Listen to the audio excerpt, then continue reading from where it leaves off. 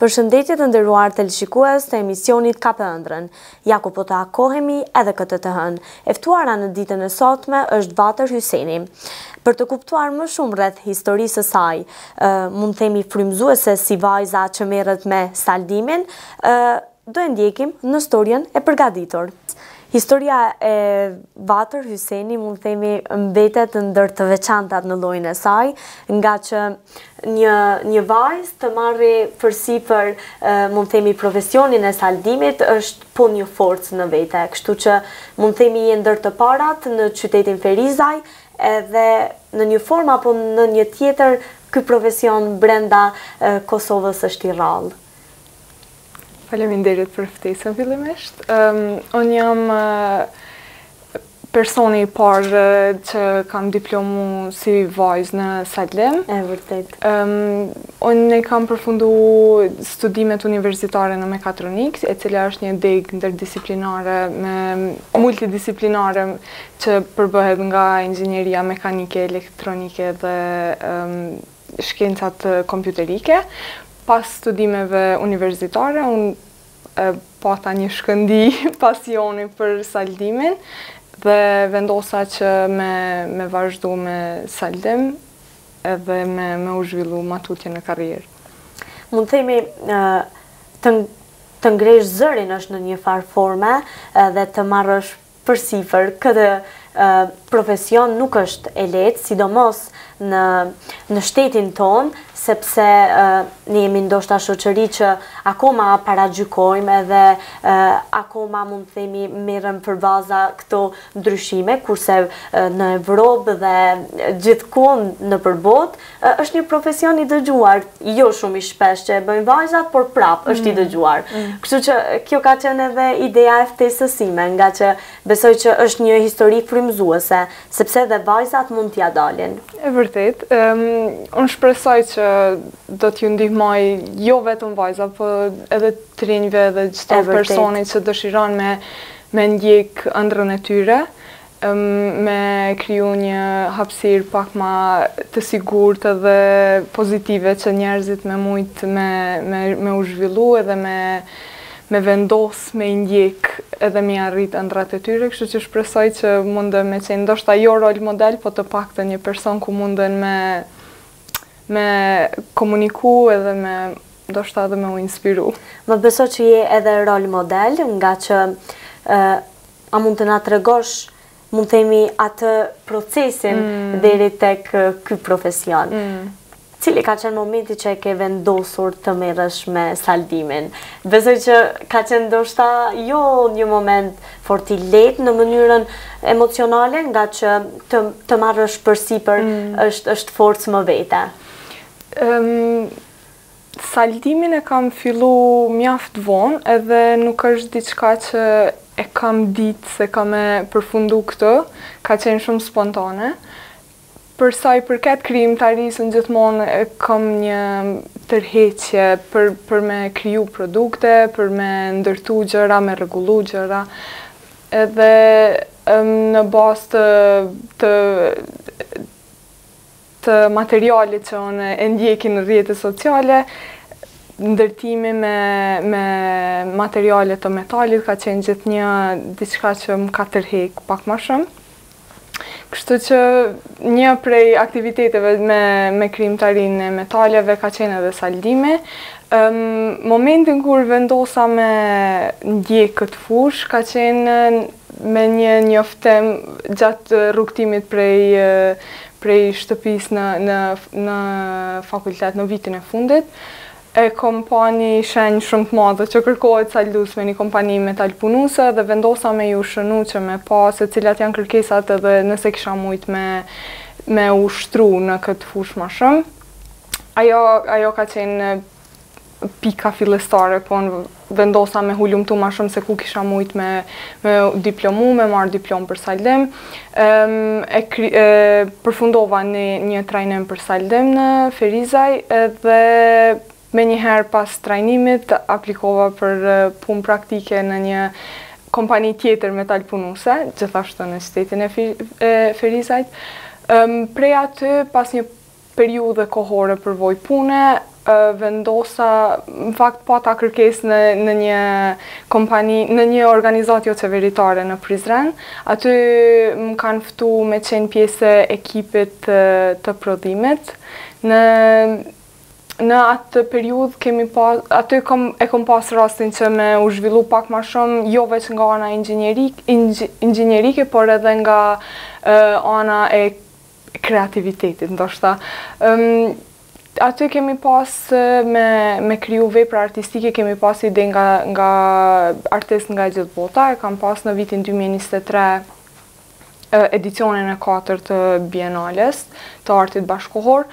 Ëm aty kemi pas me me prodhu veprat artistike, siç e thashë, edhe e kemi pas, të paktën për mua ka qenë një eksperiencë interesant që me mujt me kriju edhe me e pru një produkt fizikisht prej imagjinatës edhe prej prej mendjes së njeriut. Thjesht mendimit. Po. Edhe kjo kjo më pëlqen shumë që saldimi ma ka ofru aftësin që me mujt me me bo këtë lloj krijimtarie dhe me zhvillu këtë lloj krijimtarie. Gjithashtu, pasi e përfundova trajnimin, se tani ka qenë etapa tjetër, nëse po më pëlqen mjaftueshëm saldimi, pasi e provova, që me vazhdu ma tutje me u zhvillu ma shumë, kështu që saldimi ka qenë një, një profesion i cili më ka ndihmu shumë edhe me edhe në në anën personale, individuale, sepse është një një profesion që kërkon shumë përkushtim, shumë disiplinë edhe ka është Mjaft metodologjik, kështu që duhet disa hapa paraprak para se me fillu me saldu, nuk është veç ok në rregull po saldoj edhe aq. Kjo kjo ky zhvillimi ma i tepër që saldimi ma ka ofru, ka bo që me qenë ma ma e vendost për me me vazhdu ma tutje. Mund themi kjo ishte edhe arsyeja e realizimit të këtij emisioni, ngaqë je një histori frymëzuese më vete, vajzat nuk janë të shpeshta në të tilla profesione, dhe a mund të na tregoni për studimet tuaja në fushën e saldimit, si kanë shkuar, besoj që keni qenë e rrethuar prej gjinisë mashkullore, sepse ajo dhe mbizotëron, por kjo nuk do të thotë që Vatër Hyseni nuk mundet.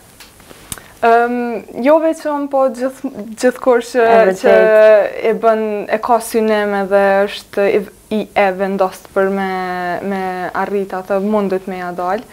Hmm, po, është në, në gjatë trajnimit kam qenë rrethuar me gjinin mashkullore ma shumë, po ka pas Qaq sa ka pas edhe kritika ose paragjykime qaq ka pas edhe mbështetje, kam vendos që ma shumë me u fokusu te persona që mbështesin edhe mos me u fokusu në persona që paragjykojnë edhe japin komente negative, se jo vetëm në fushën e saldimit, por në përgjithësi Sa ma shumë që jep energji edhe fokus në në anën negative që të ofrohet veç të merr ma shumë energji edhe unë personalisht vendosa që me me shfrytëzu energjinë time për zhvillimin tim se sa për me u fokusu në tek pozitiviteti. Sa i përket paragjykimeve, sa ma shumë që po hulumtoj për paragjykime, aq ma shumë e shoh që në të gjitha fushat egzistojnë, po sidomos edhe për vajzat edhe në fushat që quhen për vajza, prap se prap ka paragjykime, gjithmonë e gjejnë. Le të imagjinojmë që në profesionet që e bëjnë shumica e vajzave, ka paragjykime, lëre më edhe tek... Po, profesionet që ndoshta nuk janë të prirura për vajza, po kjo nuk do të thotë që ato nuk munden. Kështu që ky është edhe konteksti. Po gjithashtu duhet edhe me pa që varësisht prej punës që e bën, duhet me qenë fillimisht duhet me i ndjek hapa që, që për sigurinë e shëndetit edhe të vetvetes po edhe të të, të tjerëve. Për shembull, unë jam ndeshë shumë shpesh me me këto komente që nuk e di pse e paske zgjedhë ti, është i rëndë për ty, është edhe është specifikisht i rrezikshëm për ty. E them gjithmonë që saldimi nuk është profesion. Jo, nuk është profesion që diskriminon, nëse ka me qenë i rrezikshëm për vajzat, ka me qenë i rrezikshëm edhe për meshkujt, sepse ka rrezatim, ka punët me temperaturë, është punë me temperatura të larta, Nëse nuk punohet me me vëmendje të duhur, kanë me u lëndu personat. Rreth e rrotull. Edhe, edhe, edhe vetvetja, po domethënë që ose për shembull koment tjetër është është i rëndë për ty se duhesh me mbajt pesha të rënda, po prapë po duhet me me i rikujtu te njerëzit që për këtë arsye edhe janë zhvillu edhe janë kriju makineri për transport. Kështu që saldimi si saldim është veç saldim. Sa për transport, paguhen edhe punësohen ose edhe blihen materiale tjera për atë punë. E vërtetë. Kështu që këto ndoshta kanë qenë komentet që pak ma shumë më rrinë në mendje edhe që mundohem me, me folë pak ma shumë për këto me ua rikujtu njerëzve të rinjë që kanë me ardhë që nuk është domosdoshmërisht e vështirë për këto arsye, mundet me qenë e vështirë ndoshta për me kriju disiplinë sepse si që thashë më herët saldimi kërkon disa etapa parapërgatitëse të materialit për për për me fillu saldimi, ndoshta ajo ka me qenë pak ma e vështirë, ose pjesa tjetër që ndoshta për mua ka qenë sfiduese edhe ma që kam qenë ma e entuziazmuar me mësu është um, rregullimi i detyrave në ekip, gjatë punës në ekip, sepse... Puna kolektive. Ajo, ajo është punë, ndoshta pak ma sfiduse, është punë që kërkon pak ma shumë vëmendje që me ditë kush qka mundet me kry edhe komunikimi, mbajtja e nivelit edhe të moralit gjatë punës, gjatë punëve me orë ma të gjata, ndoshta ajo është pjesa ma ma sfiduse, por sa për sa i përket saldimit është diçka që më pëlqen, prandaj nuk e shoh dhe dhe shumë të vështirë.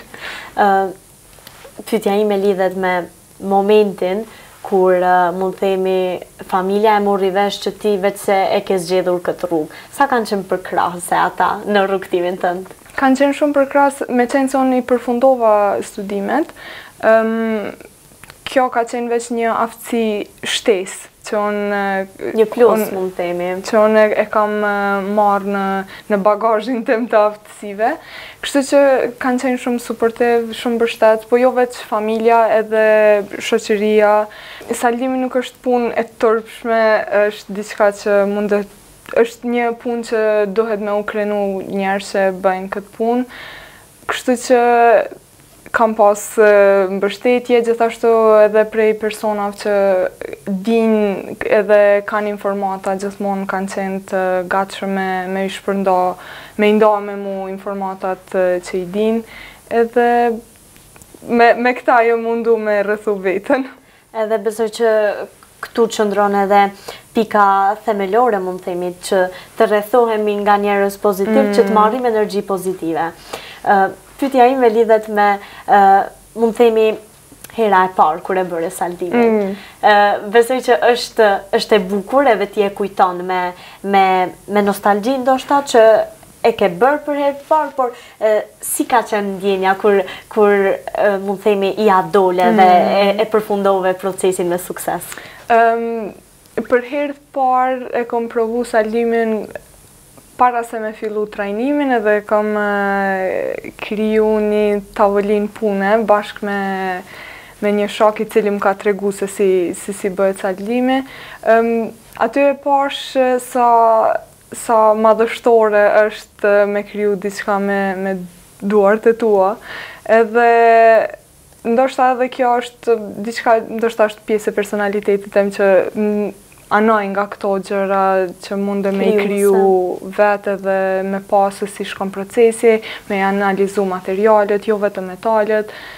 Kështu që Ajo ka qenë për herë të parë përvoja e parë që e kam provu saldimin. Le të kthehemi në fëmijërinë tënde mm -hmm. edhe le të gjejmë mund të themi këtë pikën e fillesës për saldimin. Mm -hmm. A ke pasur talent në artin figurativ, në pikturë saktësisht, se ndoshta lidhet edhe shpirti krijues mund të themi? Mm -hmm. Për të krijuar një punë vetë me duart e tua? Unë zakonisht në të gjitha gjërat që e vendosi me i ndjek jam jam pasionante edhe i marr gjërat që kam dëshirë me i ndjek ndoshta me entuziazëm edhe me sportivitet Kështu që ëm jo vetëm në anën artistike, po si person jam i gjithanshëm, kështu që çdo gjë që ma tërhek vëmendjen edhe e nxit kuriozitetin edhe është sfidues,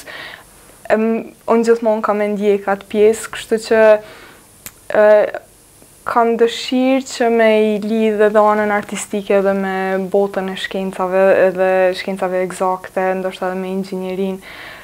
Kisha pas dëshirë, ndoshta edhe për këtë arsye i kam vu synim vetes për të ardhmen, me me i lidhë anën inxhinierike me botën e artit, sepse mendoj që të dyja janë edhe kanë avantazh nga njëra tjetra, sepse inxhinieria mundet me qenë mundet me qenë zbavitëse me anë të artit, po edhe arti mundet me u realizu me anë të jo domosdoshmërisht inxhinierisë, por shkencave ekzakte.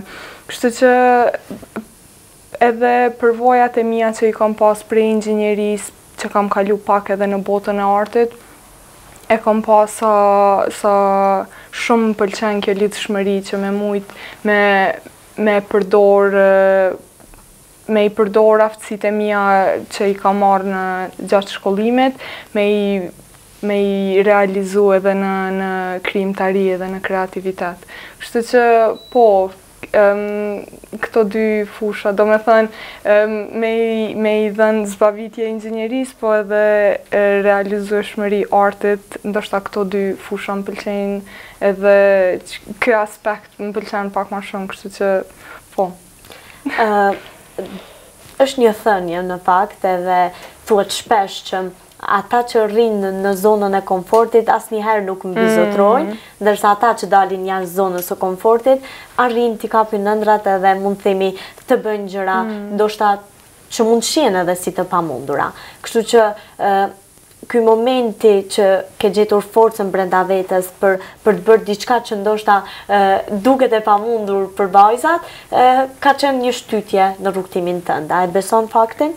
Saldimin pasi e fillova, domethënë çka më mbajti ma shumë në saldim ka qenë edhe ky zhvillimi personal që e kam. Domethënë saldimi për mua ka qenë është, është shumë terapeutik, sepse gjatë atyre minutave që unë për vete jam duke saldu, është një periudhë shumë tokëzuse me realitetin edhe më mban aty për aty, po gjithashtu është më ndihmon edhe me, me pastru mendjen nga, nga stërmendimet, kështu që për ato minuta që jam duke saldu është diçka shumë qetësuse, prandaj edhe, edhe kam vendos që me, me qenë, ose ndoshta Më tërheq pak ma shumë edhe më mban aty për aty, kështu që saldimin kjo ndoshta kjo këto benefite që i shoh këto më kanë më kanë mbajt në saldim. Po gjithashtu edhe forca, pse jo, se me qenë me pas komente negative mundet me qenë pak demoralizuse, po Prapë, ndoshta edhe është pjesë e karakterit e me u fokusu në anët pozitive, prandaj edhe... Edhe si, mund themi, si aparencë dukesh shumë pozitive, kështu që besoj që nuk e dyshojmë aspak faktin që ti fokusohesh po prapë mm. tek komentet pozitive. Kjo, historia jote rreth saldimit, sepse... Sepse... mund të themi është një histori e veçantë edhe mua më ka frymëzuar gjithashtu shumë, edhe prandaj, prandaj edhe kam bërë këtë zgjedhjen sa i përket kësaj të hëne, kështu që në një formë apo në një tjetrën, besoj që ka frymëzuar edhe shumë vajza të tjera, edhe çdokënd që beson që ato që thuhen, jo të gjitha ato që thuhen dhe shihen mund të duken të vërteta, ndonjëherë njeriu duhet të dali edhe jashtë zonës së komfortit. Kështu që saldimi a ka qenë jashtë zonës së komfortit për ty, apo thjesht e ke parë veten? Hmm. nuk e di nëse ka qenë jashtë zonës së komfortit, Ka qenë një jashtë zonës të komfortit me marrë vendimin që me, me ndjekë. Kjo. Po, saldimi si saldim jo, e, kom, e, e shoh veten gjithnjë në fushat të cilat më ndihmojnë me kriju, me kriju gjërat, çfarëdo, çfarëdo qofshin ato. Uh, a mund të na tregosh për, mund të themi, javën e parë, që e bëre trajnimin në saldim si ka shkuar procesi? Nuk ka qenë, nuk e besoj faktin që ka qenë ndoshta edhe shumë e lehtë, sepse je para një hapi mjaft, mm. mjaft mund të themi të madh dhe të veçantë. Kështu që s'e besoj shumë faktin që ka qenë e lehtë, por disa detaje më shumë për mua dhe publikun. Mm, saldimi, trajnimi për saldim nuk Nuk më kujtohet saktë sa sa çfarë periudhe ka qenë, nëse nuk gaboj ka qenë tremujor, por java e parë ndoshta ka qenë sa sa i përket eksperiencës time, ndoshta jo veç me saldim, po kam qenë mjaft nervoze derisa derisa jam ambientu me E more dorën, mund të themi. Se ndoshta edhe kam qenë nervoze për aspektin që për me qenë aty edhe me, me, me jau provu njerëzve që ja vlen me mbajt aty, ndoshta aty e kam pas pak ma shumë stresin që me, me tregu veten që di edhe nuk, nuk e kam marrë vetëm si si lojë këtë punën e saldimit, por është diçka që më pëlqen edhe është diçka që kisha dashtë me, me, me mësu edhe me, me çu deri në fund, deri në fund të trajnimit të paktën e pas trajnimit ka qenë spontan gjithë rrugëtimi. Um, java e parë ndoshta ka qenë ma shumë me u ambientu, se ka pas edhe terma për shembull um, që u dasht me me mësu për ndoshta për pajisjet, për veglat matëse, e kjo ka qenë një fushë që veç i kam ditë nga ana e studimeve. I ke pasur njohuritë. Po. E ajo, ka qenë ndoshta aftësi ma, ma sociale, ma andej nuk ka qenë aftësi ma profesionale. Pyetja ime lidhet me planet e tua të së ardhmes. Ku do e shohim Vatrën? A do e shohim në pjesën e saldimit? A do e shohim edhe me profesione të tjera?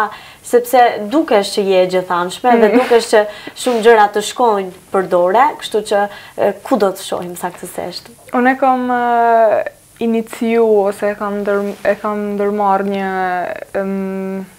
Një synim tash kam me hap punishten time, pasi që pata disa eksperienca e pash që kam nevojë për një hapësirë ku mundem me u zhvillu, ku mundem me eksperimentu me krijimtari, po në kohën time. Ndoshta vendosa me e marrë iniciativën me i dhanë liri vetes edhe për nga ana e krijimtarisë, po edhe për nga ana e kohës e zgjedhjes se çfarë kisha dashtë unë vetë me, me analizu ma shumë.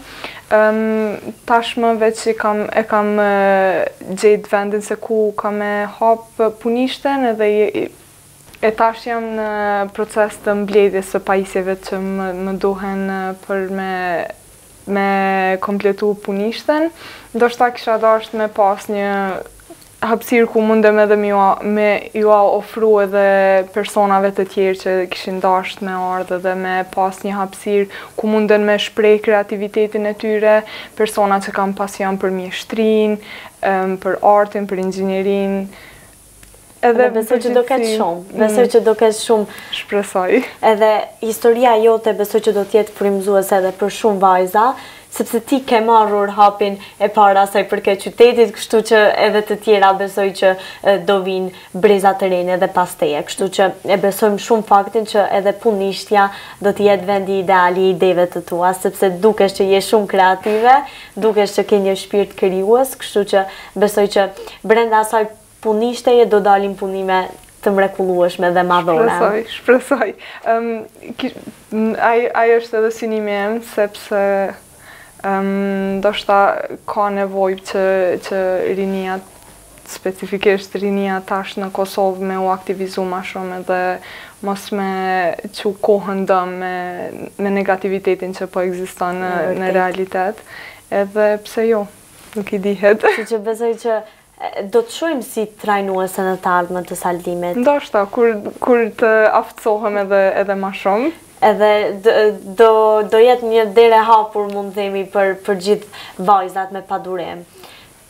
Unë unë e besoj shumë faktin që nuk ka profesion profesione të ndara. Unë besoj që atë që mund të bëjnë vajzat mund të bëjnë edhe gjinia mashkullore, por atë që mund të bëjë gjinia mashkullore mund të bëjnë edhe vajzat. Kështu që e besojmë shumë faktin edhe ja ku e kemi edhe shembullin konkret që gjithçka Nuk është e pamundur, edhe gjithçka mund të jetë e mundur. Gjithmonë, edhe tu e pas parasysh faktin që me qenë i sigurt në vetvete pa dyshim, po edhe gjithmonë me, me qenë i vëmendshëm se me kënd e rrethon vetveten, um, cili, cilat janë persona që, që Po po të mbështesin edhe cilat janë personat që ndoshta po të mbajnë mbrapa, domethënë duhet me qenë të vëmendshëm edhe me çka me kënd po, po rrethohemi, edhe me qenë me mbrojt veten edhe me i mbrojt të tjerët gjithmonë me pas këtë parim në mendje. Ë sepse edhe liria ka kufijtë e saj. Pikërisht. Liria quhet liria e mendimit, liria e fjalës deri atëherë kur mm. nuk dëmton palën tjetër. Kështu që besoj që ja ku e kemi edhe mesazhin që gjithmonë duhet duhet të qëndrojmë brenda mm. kornizave. Në një formë apo në një tjetrën e përmende se duhet të kemi kujdes me mm. me kë rrethohemi sepse me të vërtetë nëse rrethohemi me energji negative, energji negative do kemi. Kështu që Sa ka qenë shoqëria jote mikpritëse ndoshta për këtë rrugëtimin tënd të ri që që e ke filluar? Meqenëse ka qenë një fushë edhe në familje, edhe në shoqëri është një profesion që jam e para që e kam marrë këtë vendim, domethënë nuk e kam pas dikënd që e kam pas rol model. Ka qenë shumë Shumë një një periudhë e entuziazmuar për për të gjithë personat edhe për mua po edhe për ata që kanë qenë afër me afër meje edhe më kanë rrethu. Ëm kanë qenë gjithmonë mbështetës edhe i është dukur si diçka zbavitëse. Kështu që edhe për ata ka qenë diçka diçka e re. Edhe a ke shtyrë, mund të themi, miket e tua të provojnë saldimin, apo nuk e kanë gjetur atë akoma atë guximin? Nuk e di, gjithmonë unë i kam i përkrahi personat, po Ndoshta jam e rrethume me persona nga fusha të ndryshme, kështu që nuk e kemi pas të njëjtën mendim, të njëjtin mendim. Jo që nuk dojnë, po që e kanë gjet veten tashmë në në fusha që që ata ato kanë vendos me i ndjek. Mirëpo kam pas kërkesë nga një shoqe ma vonë që e kam taku që kish dasht shumë me, me u mësu edhe me ushtru e Për këta persona edhe do të kisha dasht me pas një hapsirë teme ku kishim mujt bashk me bashkëpunu. Edhe besoj që në hapjen e punishtës do jemi aty edhe do e shohim nga afër gjithë procesin e saldimit.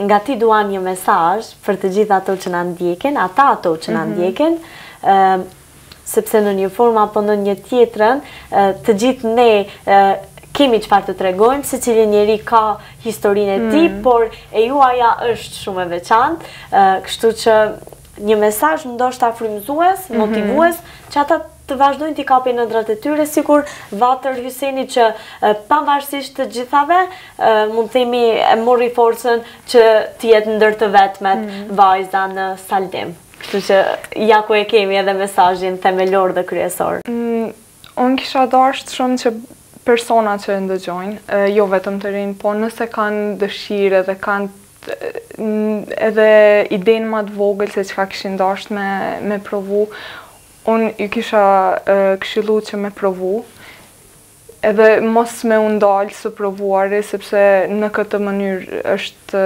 munden me gjetë edhe nëse nuk e gjejnë atë që ju pëlqen të paktën e dinë se çka nuk është për ta edhe kanalizohen po çka nuk është për ty që t'i bësh ato që drejtohen nga gjëra që ju pëlqejnë kështu që mos mos të jenë pasiv, mos t'i lënë anash, edhe nëse nuk arrijnë shumë, edhe nëse nuk edhe nëse pritjet e tyre janë ma të mëdhaja për veten, prapëseprapë është një hap i vogël drejt diçkaje më të madhe, edhe siç e thashë edhe ma herët, edhe të ta rrethojnë veten me me njerëz të cilët i mbështesin, me njerëz që dinë me i kritiku, po jo me negativitet, me njerëz që këshillojnë, me kritika pozitive, me kritika pozitive, me idenë që për përmirësim, po jo për ndalim të tyre. Domethënë, mos të binë pre e pasivitetit, të vazhdojnë t'i ndjekin edhe të marrin hapin e parë drejt, drejt ëndrrave të tyre, edhe Me, me rrethu veten me pozitivitet, ndoshta. Edhe besoj që jo një mesazh, por shumë shumë mesazhe kemi kemi mund të themi nxjerrur nga mm. bashkëbisedimi ynë, edhe historia jote e bukur dhe e veçantë në llojin e saj, mund të themi është frymëzim jo vetëm për për brezat e rinj, por edhe për ato të moshuara, ngaqë asnjëherë nuk është vonë, kështu që nëse kemi të moshuara të moshës së shtyrë që kanë pasur gjithmonë këtë afrimitet ndoshta me botën e krijimtarisë, mund ta provojnë mm. saldimin, sepse asnjëherë nuk është vonë për t'i kapur ëndrrat e tyre. Pikërisht, pikërisht. Valter ishte shumë po shumë kënaqësi të të kisha pjesë e emisionit tim edhe në hapjen e punishtës do jemi aty kështu që do e shohim nga afër gjithë procesin e saldimit ishte kënaqësi ju faleminderit shumë